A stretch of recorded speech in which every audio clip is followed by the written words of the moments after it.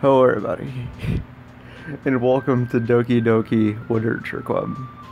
I'm laughing because I didn't think that I would ever play this on the channel, but you guys on Discord seem to really want it. You were telling me to play it, you were all telling me, hey, it's out on mobile, you gotta go get it, you gotta do Let's Play. So here I am now.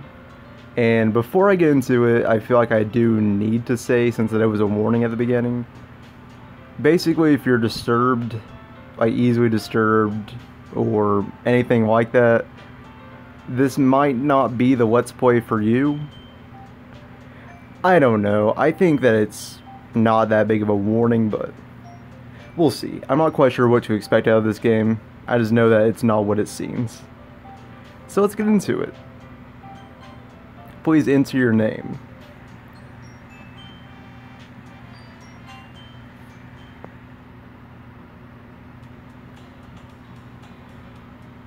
Is there voice acting? I don't hear it.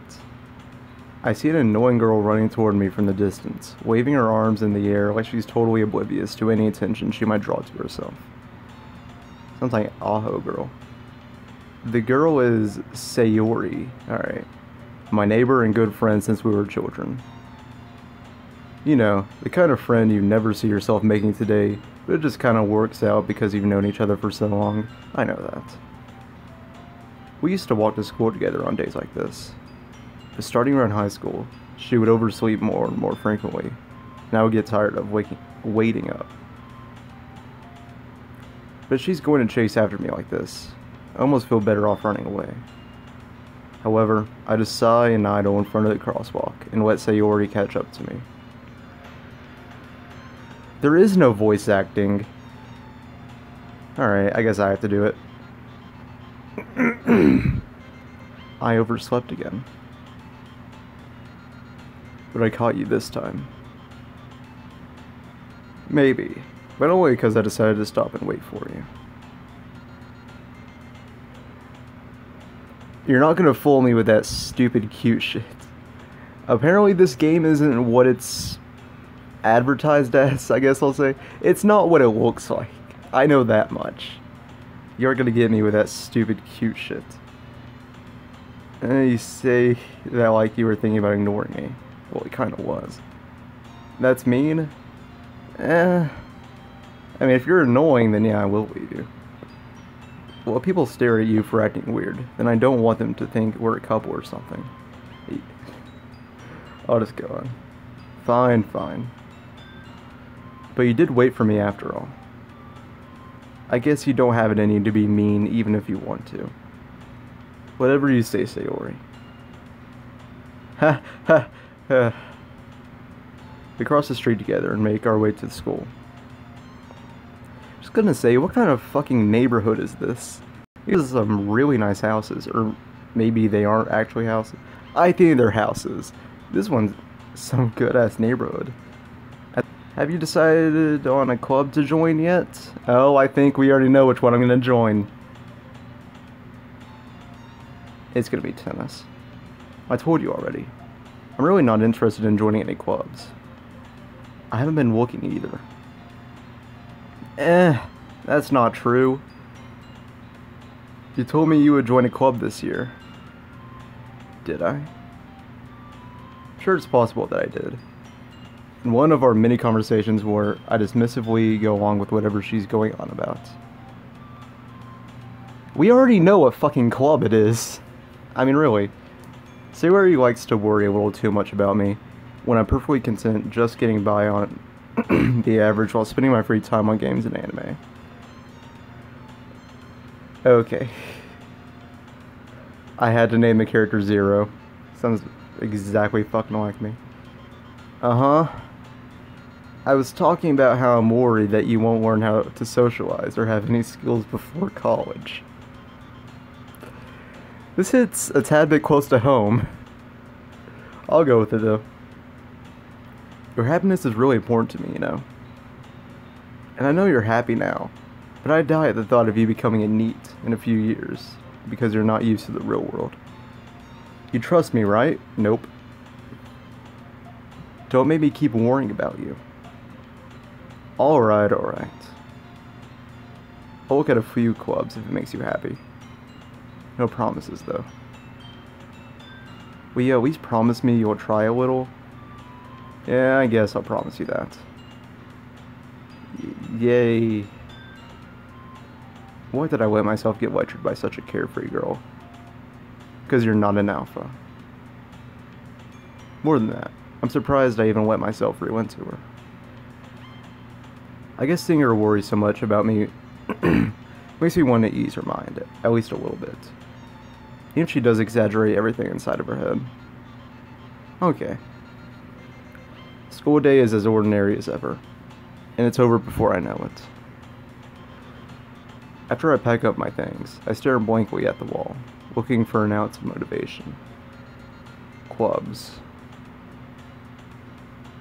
I hate to point this out. I don't know if it's just because it's on mobile or if it's actually like this, but none of those papers on the wall have any writing on them.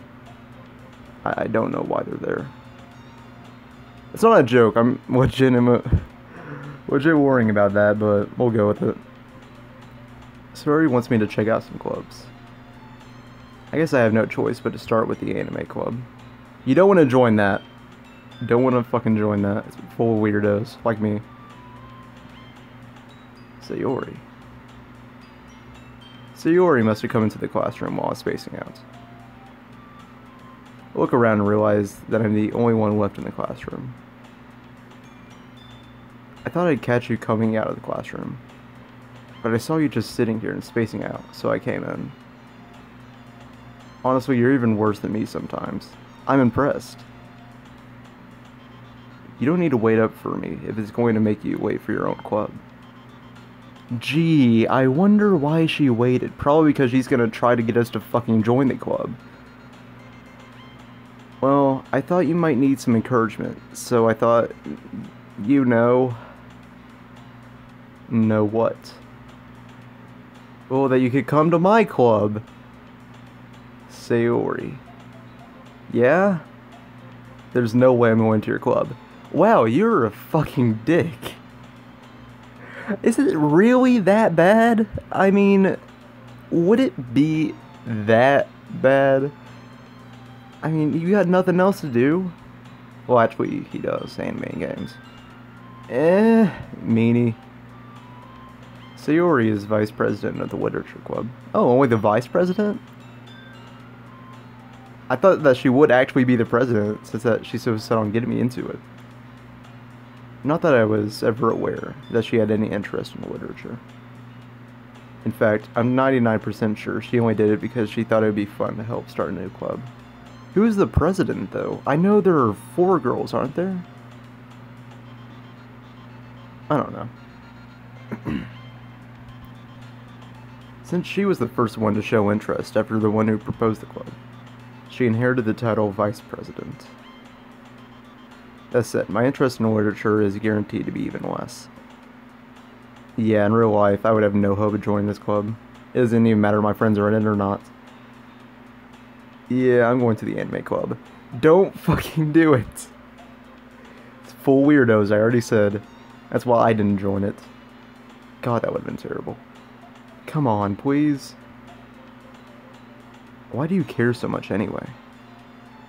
Well... I kind of told the club yesterday that I would be bringing in a new member. God damn it, Sayori. See, we have to. There's no choice. And Natsuki made cupcakes and everything. Ooh, Natsuki. What is. uh, don't make promises you can't keep. I can't tell if Sayori is really that much of an airhead or she's so cunning as to have planned all this out. I think a little bit of both. I went out alongside. Fine, I'll stop by for a cupcake, okay? Yeah, let's go! And thus, today marks the day I sold my soul for a cupcake. I dejectedly... Redec... What the fuck did I just say? I dejectedly follow Sayori across the school and upstairs, a section of the school I rarely visit, being generally used to the third year classes and activities. Sayori, full of energy, swings open the classroom door. Everyone, the new member's here. I told you, don't call me a new member. Yeah, we haven't even joined yet. What the fuck are you trying to force me into? I glanced around the room. Oh, you're the tick girl that I saw. Okay, hi. Welcome to the Literature Club. It's a pleasure meeting you. Sayori always says nice things about you. Okay. Okay. It's so cliche, but I think that's supposed to be. Seriously, you brought a boy? Yeah. Way to kill the atmosphere. What fucking atmosphere? There's literally nothing in this room. Oh, I know her! I don't know her name, but I know her because I saw the screenshots. Ah, Zero, what a nice surprise. She's gonna be best girl. I know that. I forgot her name, though. Welcome to the club. Dots. All words escape me in this situation. This club is full of incredibly cute girls. I'm pretty sure that the one in the middle is jailbait. But you do you, man. I'm not gonna judge. What are you looking at? If you want to say something, say it. You three are the ones that went fucking in front of me. Alright, if you didn't want to be seen, you shouldn't have gotten in front of me. Sorry. Natsuki. Oh, that. Alright, she's Natsuki. Huh. The girl with the sour attitude, whose name is apparently Natsuki, is one I don't recognize. Her small figure makes me think she's probably a first year. I think she's a little less than a first year. She's also the one who made cupcakes, according to Sayori. You can just ignore her when she gets moody. I have a feeling that she'll always be moody, but okay. Sayori says that quietly into my ear, then turns back towards the other girls. What The fuck is the purple-haired girl doing? anyway, this is Natsuki, always full of energy. This is Yuri, the smartest in the club. Which fucking one? We got one on the left and one on the right. Oh, that's her. D don't say things like that. You're named after a lesbian hentai. I think I'm gonna like you. Yuri, who apparently, oh, not apparently, comparably more mature and timid, seems to have a hard time keeping up with people like Sayori and Natsuki. Uh, well, it's nice to meet both of you. And it sounds like you already know Monika. That's the one! That's the one. We're gonna go for Monika. That's right. It's great to see you again, Zero. So I'm assuming that Monika's the president. Monika smells sweetly. Okay. Is your back hurting you, or, or are you just... You just gonna stay like that? Okay. We do know each other. Well, we rarely talked. But we were in the same class last year. Monika is probably the most popular girl in class. Smart, beautiful, athletic. Basically completely out of my league. So having her smile at me so genuinely feels a little... You, you too, Monika? Come, sit down, Zero. We made room for you at the table, so you can sit next to me or Monika. We're sitting next to Monika. Do I have a choice? Hey, I made them. I'll get them. Okay. Sorry, I got a little too excited. Hey, calm the fuck down. Then how about I make some tea as well? I, I don't like tea. Alright, I guess they're just gonna decide for me. That's cool. The girls have a few desks arranged to form a table. As Sayori mentioned, it's been widened so that there's one space next to Monika and one space next to, next to Sayori. Natsuki and Yuri walk over to the corner of the room, where Natsuki grabs a rep tray and Yuri opens the closet. Still feeling awkward, I took a seat next to Sayori. God damn it. Uh, okay. Natsuki proudly marches back to the table, tray in hand. Okay, are you ready? Sure. Ta-da. Uh, so you're not even gonna show me them. I guess I'm just gonna have to imagine it. Okay. Natsuki lifts the foil off the tray to reveal a dozen white fluffy cupcakes, decorated to look like little cats. The whiskers are drawn with icing, and little pieces of chocolate were used to make ears.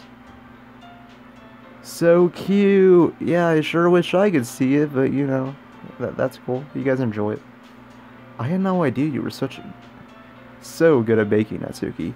I'm sorry my speech is off today. My throat. like, you heard me clearing my throat periodically. Yeah, it's just not feeling good. Eh, well, you know. Oh god, she has the tooth. Just hurry and take one. She has the cliche tooth. Okay. I don't like Natsuki. It's so cliche, but once again, I think that it's supposed to be like that. I think that it's supposed to be cliche. Sayori grabs one first, then Monica. I follow. It's delicious. Sayori talks with her mouth full and has already managed to get icing on her face. I turn the cupcake around my fingers, looking for the best angle to take a bite. You gotta eat it from the bottom first, man. Just saying. Natsuki is quiet.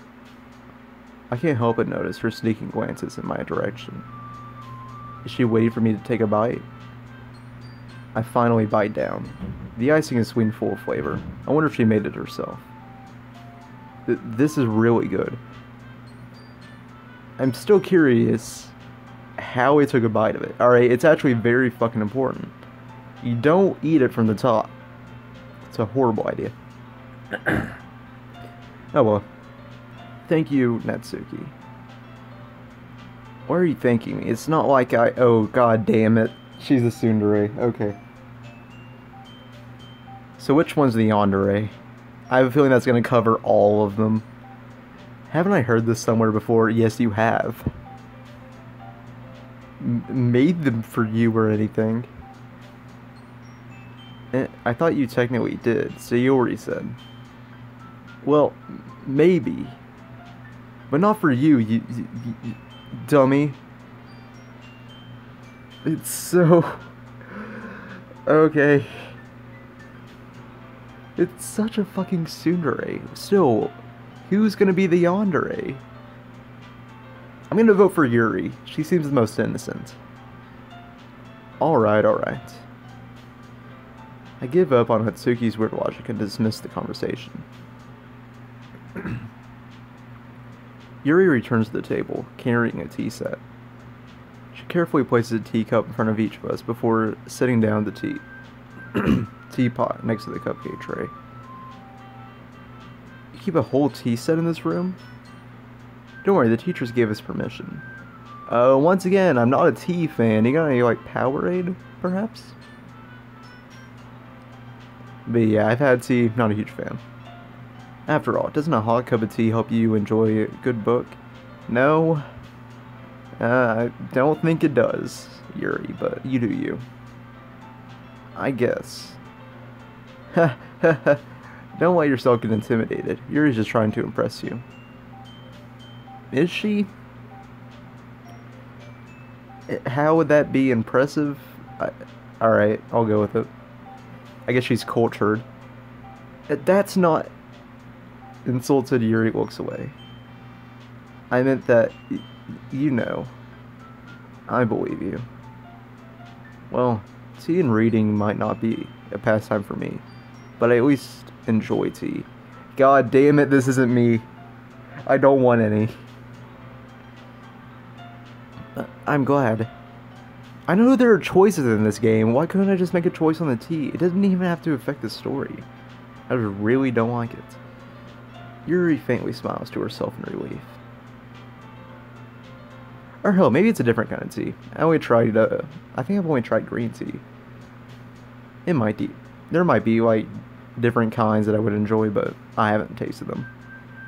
Monika raises an eyebrow and smiles at me.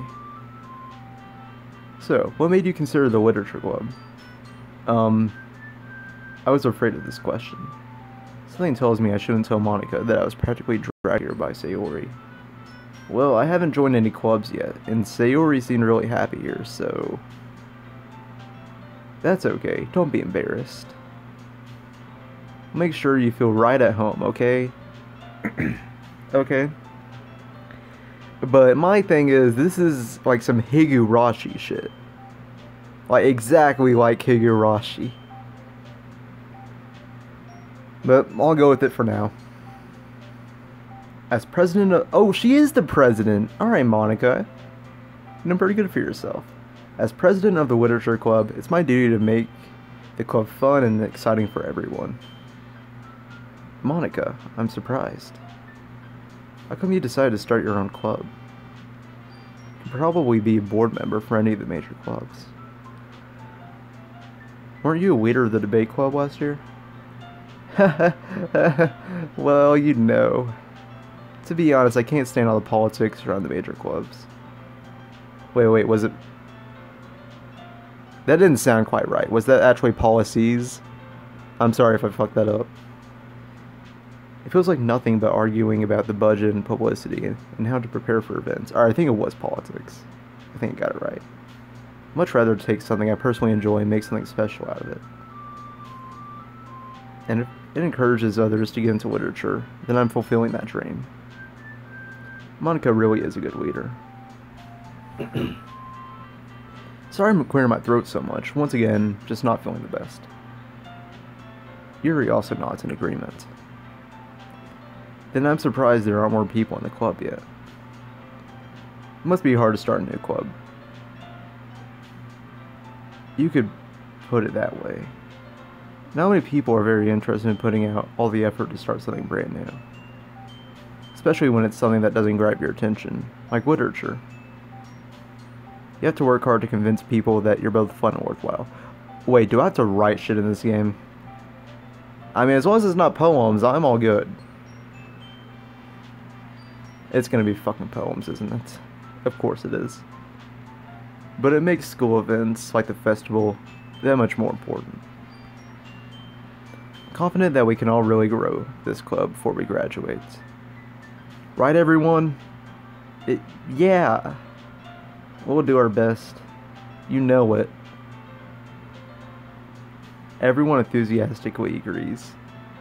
Such different girls, all interested in the same goal. Is this where I choose one? Because I choose Monika. Monika must have worked really hard just to find these three.